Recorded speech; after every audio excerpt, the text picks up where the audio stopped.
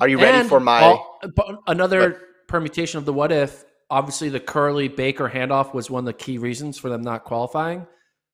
I'm not saying Norman's going to do any better, but a different person, maybe you get a different result. Maybe we get a different result in the four by one, and then all of Well- a sudden, maybe the US four by one is not the laughing stock of the the games.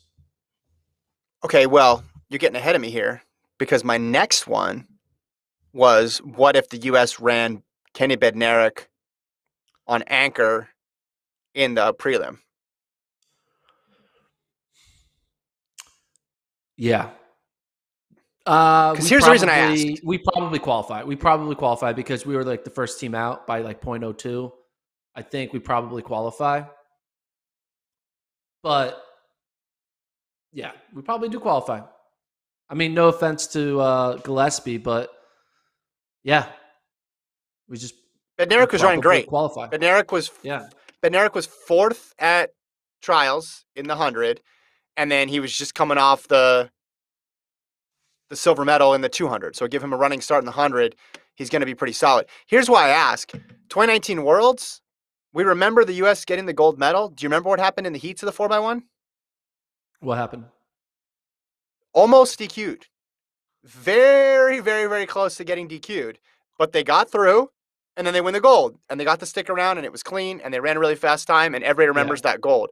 So the whole narrative could have shifted if they just squeaked through and they would have needed to just finish a couple hundredths of a second faster. They could have still had that bad second exchange and just saved themselves on the anchor. And so if you had somebody who ran a, a couple hundredths faster, then maybe that's different. I don't know. Maybe Lyles there too. I'm not, you know, with a flying start, I'm not sure.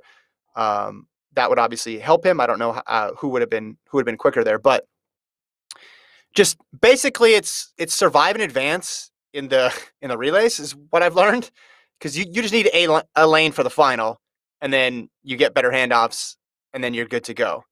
But like you look at this is Kenny B's season we got up there, correct? Yeah. Like 989 in that final at the trials, ran 996. You see all his consistent sub 20 marks.